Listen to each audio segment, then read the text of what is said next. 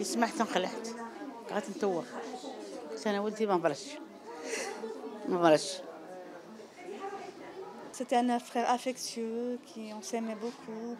On était très proches. Moi et lui, on était très proches. À chaque occasion, on se voit.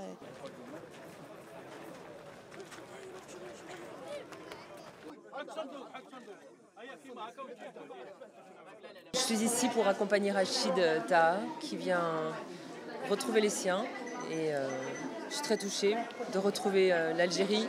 Je l'ai connue en 84 lorsque je l'ai rencontrée et euh, je retrouve la même fraternité, l'accueil, le cœur grand ouvert.